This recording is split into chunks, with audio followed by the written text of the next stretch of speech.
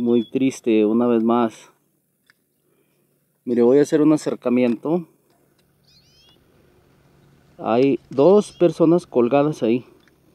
Dos personas colgadas. Ahí las está viendo usted. Está una barda. Está una barda y están dos cuerpos suspendidos. Ahí está la imagen macabra. Ahí se ven los dos cuerpos que están colgados eh, justo en esa pared. Esa pared que tenemos aquí en la presa de Rivera. Eh, el acordonamiento está muy largo, eh, está muy, muy, muy, muy largo. Como hay mucho, muchos árboles, pues no, no, no se ve de cerca. Pero ve, ahí están las imágenes con, con la Super HD. están los dos cuerpos suspendidos ahí de esa, de esa barda.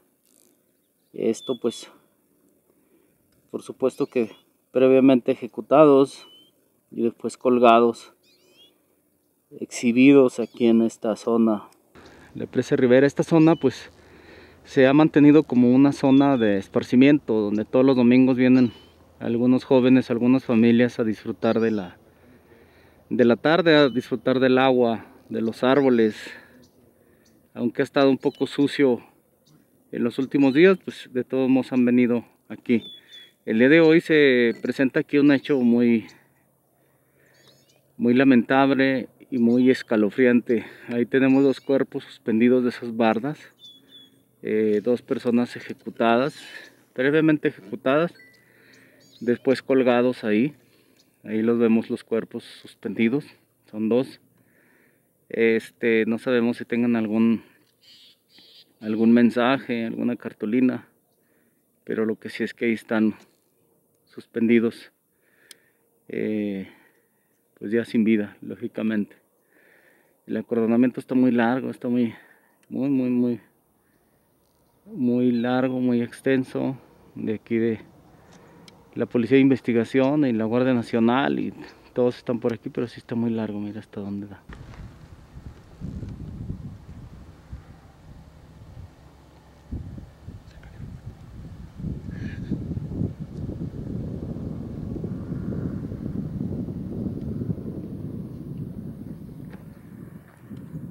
En esta barda donde quedan suspendidos estos dos cuerpos.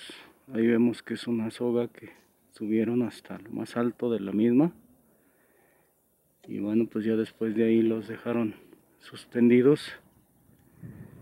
Están volteando como para el lado de, del sur. Y pues así, así queda por acá. En la presa de Rivera, este día estas dos personas ejecutadas y colgadas aquí en el lugar. Eh, son lugares que bueno pues utilizan, que utilizan las familias los domingos para venir a, descansar o a, tomar. Y pues ya no, no es la primera vez aparte que se ve manchada por estas situaciones esta zona.